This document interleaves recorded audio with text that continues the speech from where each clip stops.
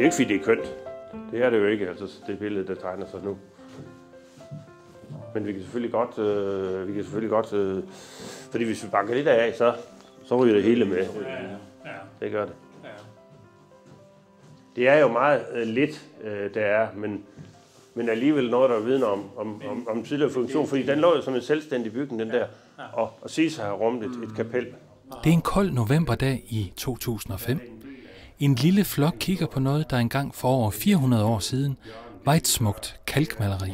For mig at se, øh, der, der, der mener jeg, at det skal ned, fordi det, det er usundt simpelthen. Og øh, jeg tror, at vi vil prøve at, at tage det ned og, og bevare så meget øh, af det her så muligt. Så vil vi lade det sidde i første omgang som et fragment, og så, så, så mødes vi, eller så kigger vi på det igen og siger, du er det, eller du er det ikke, ikke også? Vi kan altid kigge det over.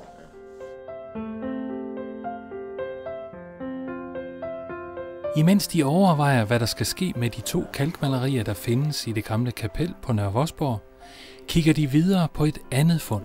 Desværre så har de også fundet nogle, nogle, nogle tapeter her. Et tapetfund, der deler vandene. Nogle, nogle meget sjældne øh, velurtapeter. Det er konservator Lars Vester Jacobsen, som har fundet det gamle tapet. Jeg vil nok tale meget for, at man, man fremdrager det tapet her af to grunde. Altså dels er det, er det ikke så almindeligt, og det vil sige, at Nørre Vorsborg kunne godt have øh, bruge en, øh, hvad skal man sige, et unika af en eller anden art, og altså her står vi over for sådan noget. Og så er det også meget velbevaret, Det specielle ved tapetet er, at de er sat op i ark. og man kan tydeligt se, hvor stort et ark har været, hvis man sådan følger hen her. Så herhen slutter og går ned.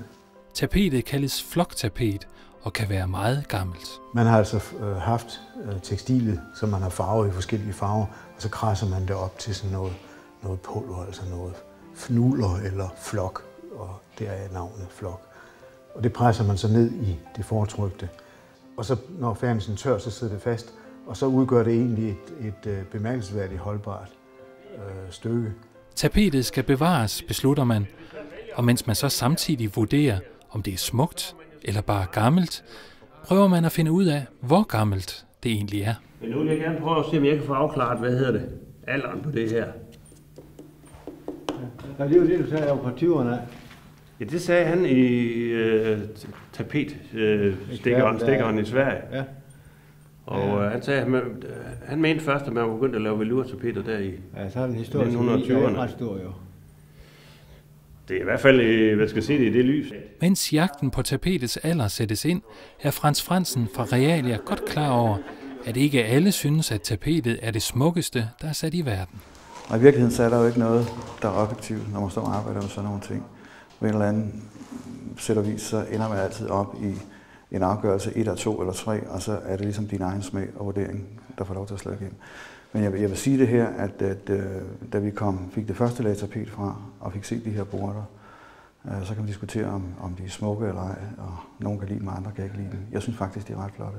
De er i hvert fald unikke, Det var, at vi skal jo lige have fat i de brædder der på en eller anden måde. Skal vi, eller det skal vi måske have. Det er jo en ganske usædvanlig øh, konstruktion, at man har sat brædder op her.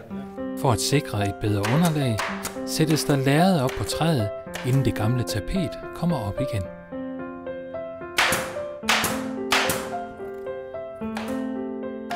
Mens det gamle tapet er på vej tilbage på væggene i Gyldenstjernehuset på Nørre Vosborg, er der sket det, som bare ikke må ske i det gamle kapel. Af urensagelige øh, årsager, så er det altså blevet pudset over igen i, jeg vil ikke sige nattesmuld og mørke, men, men øh, vi kan jo ikke stå over hele tiden. Og der må have været en eller anden kommunikationsbrist af en eller anden slags, øh, eller man ikke har, har læst rigtigt på lektien, fordi der står faktisk en meget præcis beskrivelse af, hvad man skal og hvad man ikke skal, præcis på den her væg. Øh, desværre så er det pudset over, og øh, vi kan ikke gøre noget ved det. Så det var en stor skuffelse at se, at, at, øh, at lige pludselig så var det væk. Altså, det var jo ikke et, kan man sige, et, et kalkmaleri, som stod, som man ser mange steder i kirkerne, i fuld figur og så videre, og, og med alle farvelag. Fuldstændig intakte og, og, og tætte. Men, men det var øh, ganske tydeligt, hvad det var. Øh, der skulle være sket en preservering der, og ikke en overpudsning. Så det, det er jeg meget, meget ked af. Så Frans Fransen forsøger at sikre sig, at der ikke sker noget med Vosborgs andet kalkmaleri. Nu tænker man sig rigtig, rigtig grundigt om, og nu holder man fingrene væk herfra. og så rører man ikke noget som helst, før man får besked på, at, øh, hvad man skal gøre. Øh, og alle var enige om, at ja, selvfølgelig, og det var da også forfærdeligt, hvad der var sket det andet sted. 14 dage efter, at jeg har haft et møde med Kulturarvsstyrelsen heroppe, hvor vi netop står og drøfter, hvordan vi nu kan bevare det bedst muligt. 14 dage efter får jeg en opringning, at nu er det kalket over. Um, Hvis du var skuffet derinde, hvad var du så nu? Øh, så vil jeg sige, at jeg ledede en halv meter over stolen øh, og blev meget vred. Nu må håndværkeren til lommerne for at udbedre skaderne. Vi har fået en pris på det nu. Øh, jeg vil ikke nævne beløbet, men det er svimlende dyrt at få renset så lille et stykke. Imens er tapetet blevet repareret af konservator Kurt Nedergaard. Det er syrefri silkepapir, der er sat på som, som, som støttemateriale. Ja. Ja. Og så er der lige med nyt papir ind, kant mod kant, ligesom når man... Når man Hvordan har du skåret det til? Jamen det er jo det. Altså, Altså den, den, der, den tilpasning der. jamen, det gør man med en skalpel.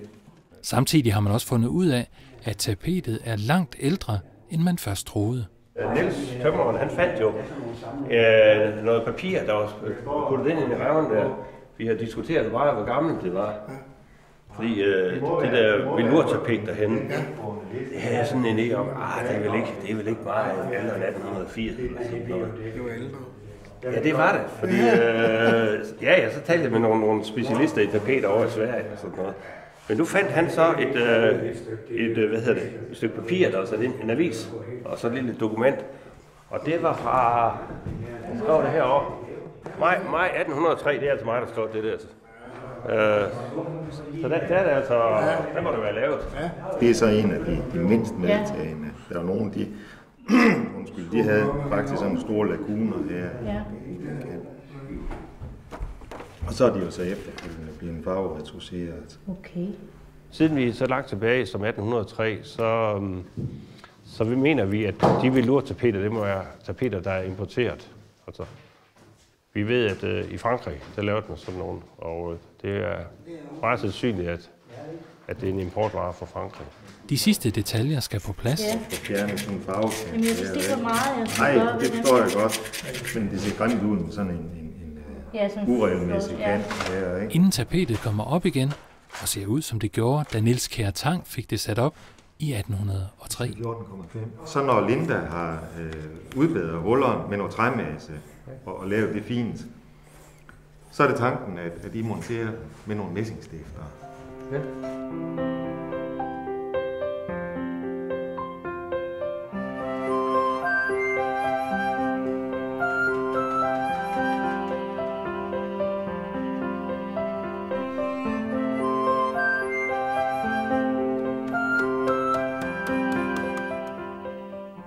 Og selv en arkitekt kan komme til at holde af tapetet.